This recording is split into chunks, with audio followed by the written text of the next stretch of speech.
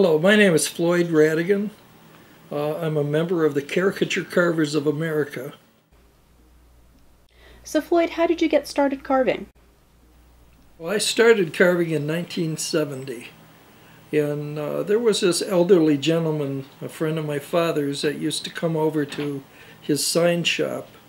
And his name was Smoky Joe Miller, And he was a colorful guy.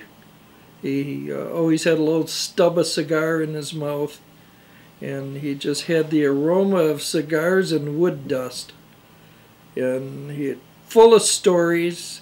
And when he wasn't helping my dad, he would sit out on the steps and carve all these little figures um, cowboys, Indians, horses. Uh, and it amazed me. So I, there's nine children in my family, and I'm the youngest out of nine. And half of, half of us kids would sit in a circle in front of him and watch him carve. And if you were lucky, you'd get, get one of his carvings. So when I got out of the service, I found out he was living in Detroit with a sister. So I went for three weeks every day. And he showed me how to make a, a knife out of a straight razor, how to use a bandsaw, how to draw a pattern, a front view and a side view, and the basic tips on how to carve. And it just, I couldn't, I couldn't put down the knife once I started and it's just been an ongoing love affair with uh, with carving. And I'd have, I'd have been a sad person if I wasn't able to pursue the wood carving as a career eventually in my life. And what drew you to caricatures?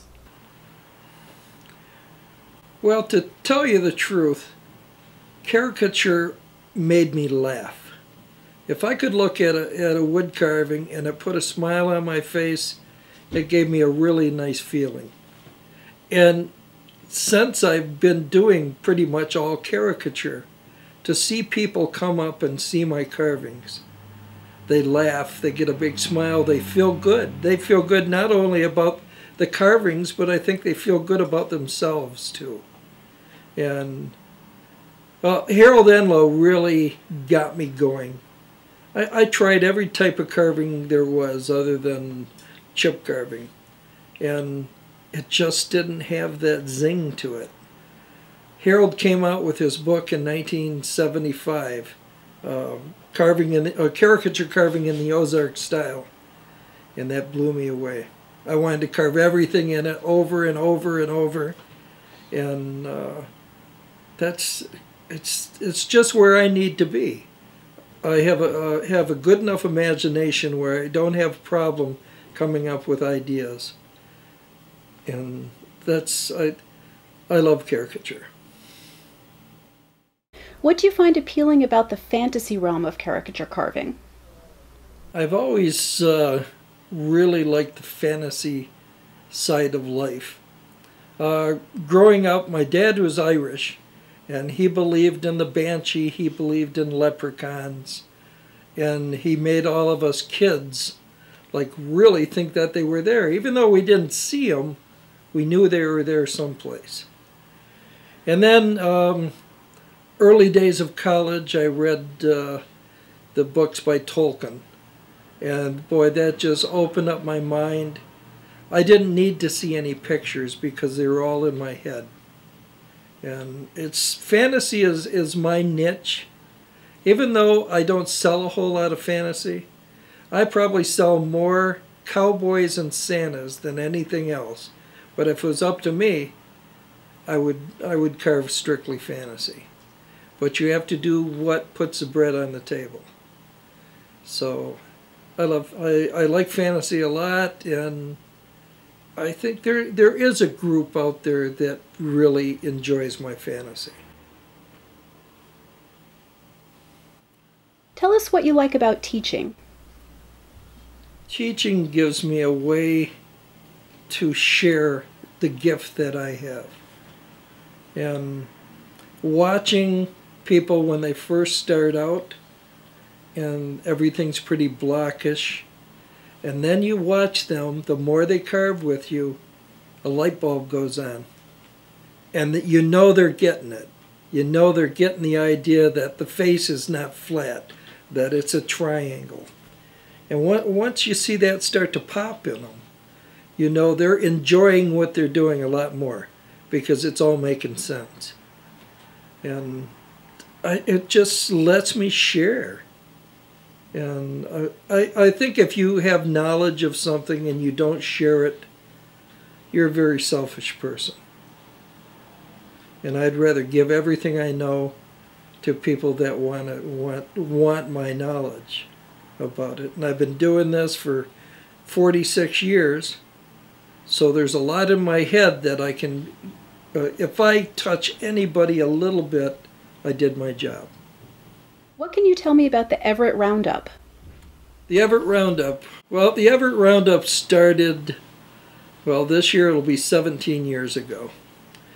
And it was a group of us got together and we wanted to provide some something that people could get interested in carving without them paying a big fee to do it. So we started out with like 10 instructors. And uh, this is back then, Evart was one long barn with three incandescent lights. So the lighting was horrible. The, the tables were falling apart. It was a dirt floor. So we started off very meager. Uh, since then, uh, it has become a thing that darn near runs itself. Well, I had to take over three years ago, or else it was going to end. And I'd hate to see that happen. This year we had 630 carvers there and over 70 workshops. So you could try anything you wanted. I mean, anything from wood carving to wood burning to basket weaving to quilt making. Um, so we had things for the women or anybody to do that didn't carve. Um, it just it's growing, growing, growing, and it's it's just a great format. And from the roundup, we have other roundups that have branched out all across the country in Florida, in Pennsylvania, um, in in Minnesota, and uh, they. But uh, the Evart Roundup was the was the granddaddy of them all. Right after the Evart Roundup, we have a program called the Floyd Fest. And this is my 20th year. It used to be called Creative Wood Carving, but a few years ago I got uh, my head swelled a little bit and I, I changed the name to Floyd Fest. But it is a more structured event where you pay, pay a fee uh, to come and carve five days with one instructor. And I have uh, 13 different classes. Um, realistic animal, realistic human, caricature, wood burning, uh, relief carving, um, canes and walking sticks, uh, fish carving, um, songbirds. So, and it's well established, and I think I've got some of the best instructors in the United States. But if you if you want to come for both of them, You've got uh, approximately 10 days that you could just have a lot of fun. That wraps up the questions. Thanks for sitting down and chatting, Floyd. It's always great to see you. Well, thank you for inviting me. Uh, it's always great coming to visit Fox Chapel. Uh, you people treat me real well. Thanks a lot.